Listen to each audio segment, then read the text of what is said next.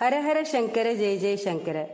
ஏழர சனி அஷ்டம சனி அர்த்தாஷ்டம சனி அப்படின்னு எதுவா இருந்தாலும் அந்த சமயத்துல நல்லது மட்டுமே நடக்கிறதுக்கு மகா பெரிவா சொல்ல சொன்ன எளிமையான ஸ்லோகம்.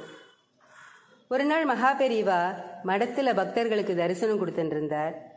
அந்த சமயத்துல ஒரு பக்தர் வந்தார். பெரியவா என் மனைவிக்கு அஷ்டம சனி நடந்துருக்கு என் பையனுக்கு ஏழரை சனி நடந்துருக்கு எப்போ பார்த்தாலும் வீட்டில் சண்டை மண்டை உடையிறது பெரியவா. மனசுல நிம்மதியே இல்லை. எதையாவது செய்யலாம்னா பயமா இருக்கு. நீங்க தான் வழி சொல்லணும் பெரியவான்னு மன்றாடினார். அந்த பக்தரோட குமுறலை கேட்ட கருணாமூர்த்தி சும்மாவா இருப்பார். அவருக்கு மட்டும் இல்லாம அங்க இருந்த எல்லாருக்குமான உபதேசத்தை பெரியவா சொன்னார். பொதுவாகவே சனி பகவானோட தாக்கம் அதிகமாக இருக்கக்கூடிய அஷ்டம சனி அர்த்தாஷ்டம சனி காலங்களில் கொஞ்சம் ஜாக்கிரதையாக தான் இருக்கணும்னு தான் சொல்லுவா. இருந்தாலும் அந்த மாதிரியான சமயங்களில் இந்த ஸ்லோகத்தை சொல்றது மூலமா அதோட தாக்கத்திலேருந்து கொஞ்சம் விடுபடலாம்.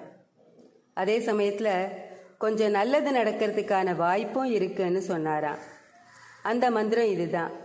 கார்கோடகசிய நாகசிய தமயந்தியா நலசிய ச ருதுபர்ணசிய ராஜர்ஷே கீர்த்தனம் கலிநாசனம் இந்த ஸ்லோகத்தை அடிக்கடி சொல்றது மூலமா குறிப்பா சனிக்கிழமைகள்ல சொல்றது மூலம் ஏழரை சனி அஷ்டம சனி அர்த்தாஷ்டம சனி அப்படின்னு எந்த சனியா இருந்தாலும் அதோட தாக்கம் குறைஞ்சு நல்லதே நடக்கும்னு மகா பெரிவா சொல்லியிருக்கார்.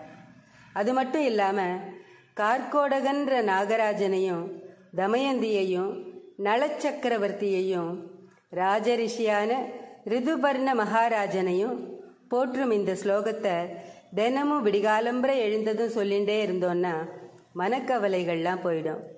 ஆரோக்கியமும் சந்தோஷமும் பெருகும்.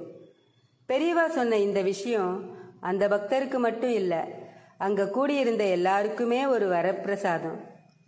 இன்னொரு முறை அந்த ஸ்லோகத்தை சொல்கிறேன் கார்கோடகசிய नागस्य தமயந்தியா नलस्य ச.